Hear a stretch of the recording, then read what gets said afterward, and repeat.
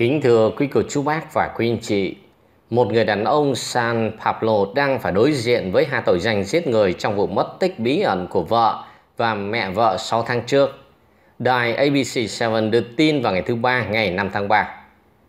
Thơ Ngọc Lý 40 tuổi và mẹ đó là bà Quế Thị Trần 74 tuổi đã biến mất khỏi tư gia của họ ở dãy nhà 1900 ở đường Sutter Avenue ở tại San Pablo một cách bí ẩn vào ngày 6 tháng 9 năm 2023. Phúc Võ, chồng của Thơ Ngọc Lý, trình báo về sự mất tích của hai mẹ con. Ông Phúc Võ gọi cho chúng tôi đến bảo rằng vợ ông và mẹ vợ đi khỏi nhà sau trận cãi vã trong gia đình và ông không gặp họ từ ngày 6 tháng 9 tuần trước đó. Phát ngôn viên sở cảnh sát San Pablo Pachi cho biết như vậy. Cảnh sát coi đây là một vụ mất tích và bắt đầu theo sát sự việc bằng cách mở rộng tiến trình điều tra, xem là liệu họ có lên đường đi miền Nam Cali. Nhưng câu chuyện có những điểm không ăn khớp mãi cho tới tháng 12 khi các nhà điều tra hỏi thẳng Phúc Võ rằng liệu ông có nhìn thấy chiếc xe Honda Fit của vợ mình từ lúc họ biến mất hay không. Phúc Võ nói không. Và trong cùng ngày hôm đó Phúc Võ đã bị bắt gặp dùng xe của vợ lái đi và đậu nó ở một chỗ khác Cảnh sát cho biết điều đó khiến cho Phúc Võ trở thành đối tượng bị tình nghi và vào tuần trước, họ thực hiện lệnh lục soát căn nhà tại San Pablo với sự giúp đỡ của các cơ quan thực thi công lực địa phương khác. Sau đó Phúc Võ đã bị bắt vào ngày thứ hai, Biên lý quận Contra Costa, buộc tội ông hai tội giết người với những tình tiết đặc biệt thông qua điều tra bổ túc. Lẽ ra Phúc Võ sẽ bị buộc tội vào ngày thứ ba nhưng biện lý quận nói với đài ABC7 vào cuối ngày thứ ba rằng phiên tòa bị đình hoãn đến ngày 19 tháng 3 năm 2024 lúc 1 giờ 30 phút chiều. Phúc Võ đang bị giam ở nhà tù Martine mà không được tại ngoại.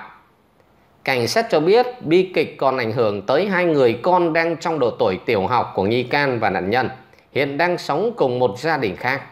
Tính đến thời điểm hiện tại, chúng tôi vẫn chưa biết hai nạn nhân đang ở đâu chúng tôi vẫn đang nỗ lực phân tích bằng chứng và theo dõi các đầu mối, theo nhà hữu trách cho biết. Cảnh sát San Pablo yêu cầu công chúng giúp đỡ để điều tra được động lực giết người và thi thể của hai người phụ nữ đã mất tích này ở đâu. Cảnh sát nói hai vợ chồng có khó khăn về tài chính. Bất kỳ ai có tin tức hữu ích nào liên quan tới vụ án xin gọi cho 510 215 3150.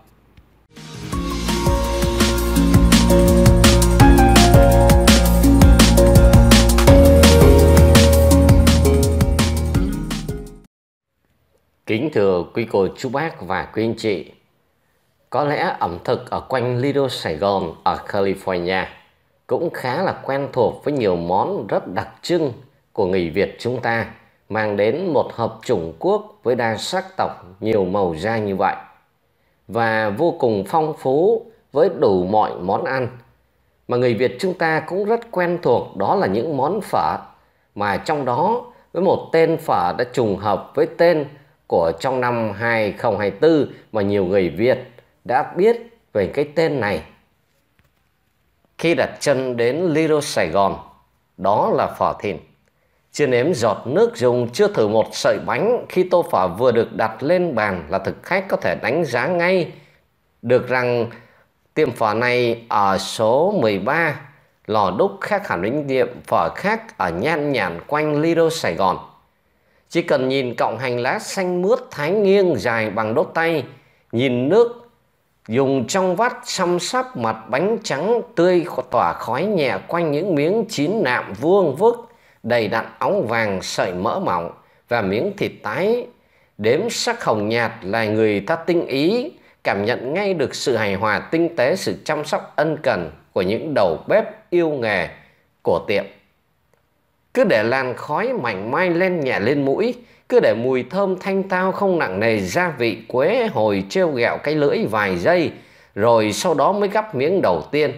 Có bánh có thịt có hành ngò. Để hiểu vì sao tiệm phở này 13 lò đúc Hà Nội lại được nhiều người khen đến như vậy.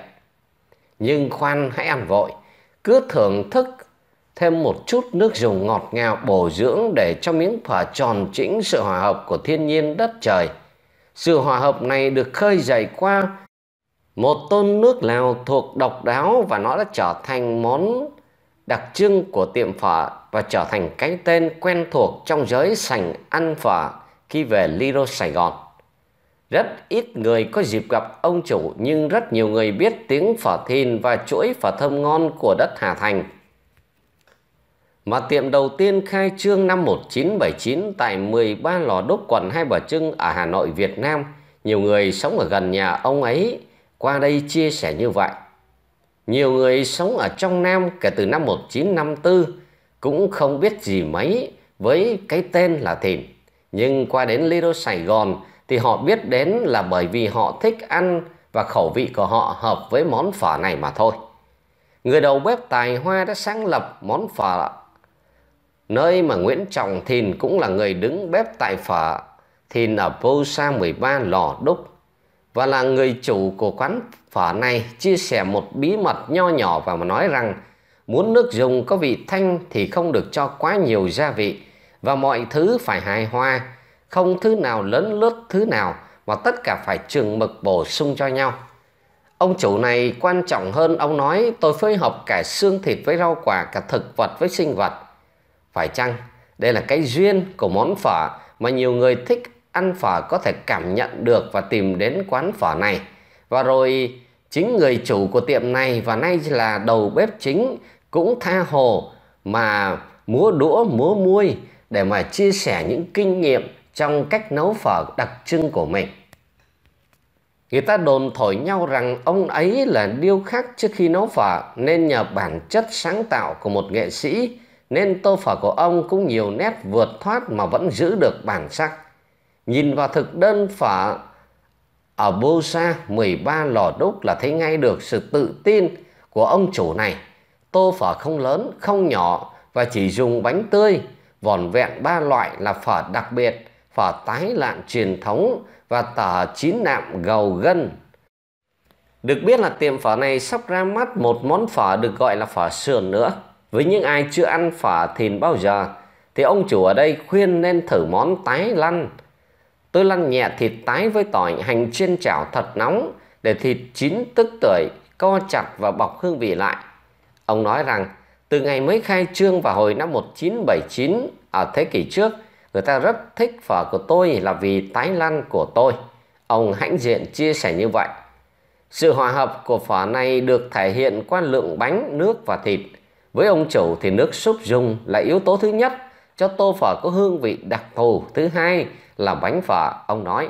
Tôi chưa hài lòng với bánh phở bên này vì bánh ngon phải vừa mềm, vừa dai mà bên này chưa ai làm được như vậy.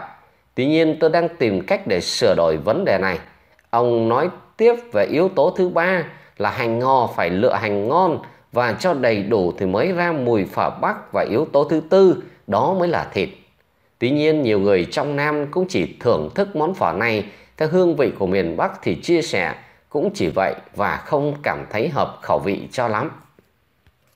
Ông chủ ở đây thì lại chia sẻ và nói rằng ông rất đề cao một tô phở giống như một tác phẩm nghệ thuật nên tất cả đều chỉn chu, kỹ lưỡng trộn tô phở lên là mọi thứ quyện vào nhau. Và ăn đến đâu mọi thứ cũng hết theo như một cách đồng đều truyền cảm. Phở vốn là một món ăn tinh túy mà nhiều người rất ưa thích. Tuy nhiên cũng nhiều người có sự lựa chọn và khẩu vị khác, không hẳn là phở là number one. Tuy nhiên cũng có nhiều thực khách chia sẻ như bà Nguyễn Hồng Thuyên ở Santa Ana cũng nói rằng Tôi từng ăn phở ở Hà Nội rồi và tuy không giống hẳn được nhưng phở ở đây ở Bosa 13 lò đúc là một nét riêng, ăn rồi còn muốn quay lại ăn thêm. Ông Huệ Phan ở Gan Row thì nhận định rằng tôi kết nước lèo ở đây không có mùi hồi nồng nặc. Nước lèo ở đây có mùi rất dễ chịu nhất. Còn cô Catherine Nguyễn ở Westminster thì cho biết không thích ăn phở nhưng bữa nay cho ăn cho ba mẹ vui mà sao thấy cũng ngon. Mai mốt con chở ba mẹ lại ăn nữa. Mà điều quan trọng là thấy ông bà ăn ở đây nhìn nét vẻ cũng vui và ăn dường như cảm thấy ngon miệng. Thôi thì đầu năm người ta gọi năm 2024 là năm thìn, phải chăng cũng chả mấy người gọi, mấy quốc gia gọi, bởi trên thế giới người ta cũng không quan niệm cho lắm về một loại con đó là con rồng mà không có thật. Người ta chỉ vẽ ra và lại gắn cho nó nhiều biểu tượng như sức mạnh này nọ. và nhiều người nói rằng, phải chăng đây là món phở mà nhiều người dễ nhớ đến trong năm 2024 hay sao?